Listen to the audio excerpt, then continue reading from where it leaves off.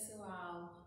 Agora nós vamos assistir a nossa aulinha de matemática e hoje nós vamos falar sobre figuras planas e sólidos geométricos ou geometria plana ou geometria espacial.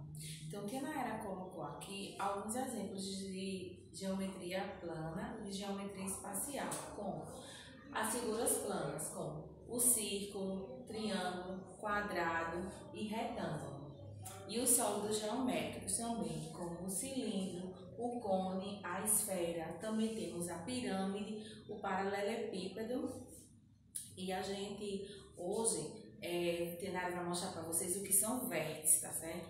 Vértices, gente, a gente vai ver naquelas formas geométricas onde, como se diz, onde tem um biquinho, onde elas são pontudas. Então, cada partezinha dela vai ser uma vértice, ó. Tenara trouxe um quadrado, e um triângulo onde a gente vai encontrar as vértices. Olha só, aqui nós podemos encontrar uma vértice, duas,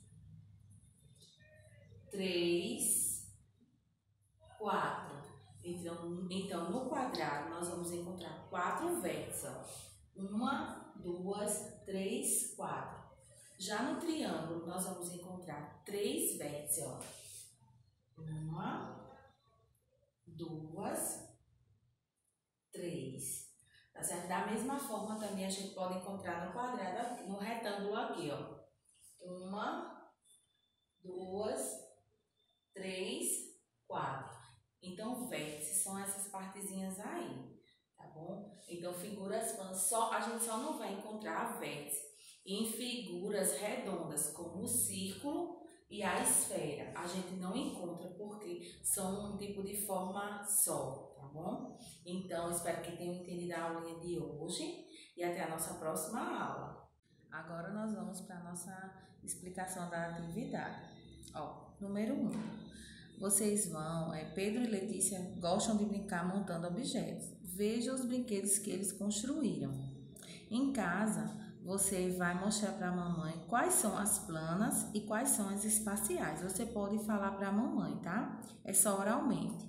No número 2, você vai contar quantas vértices tem cada sólido e escrever nas linhas o número de vértices. Preste atenção, você vai circular as vértices, as vértices, como a Naira falou, as partes pontudas de cada figura, paralelepípedo, pirâmide e cubo. Na nossa próxima página aqui, vocês vão classificar né, as ilustrações em triângulo, quadrado, retângulo, retângulo e círculo. Vocês vão olhar cada imagenzinha dessa e classificar. Número 4. Novamente, vocês vão circular as vértices e, escre e escrever o número que você encontrou dessas vértices. No número 5, você vai prestar atenção. Aqui nós temos uma forma, uma geometria é, desmontada. Então, você vai ter que prestar atenção quais, quais formas nós iremos é, formar através desses moldes.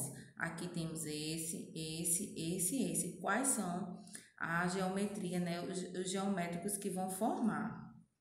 Já no número 6, vocês também vão observar através dos objetos se eles são cilindro, esfera, paralelepípedo, cone, pirâmide, o lápis, a bola de tênis, o, a caixa e o sorvete.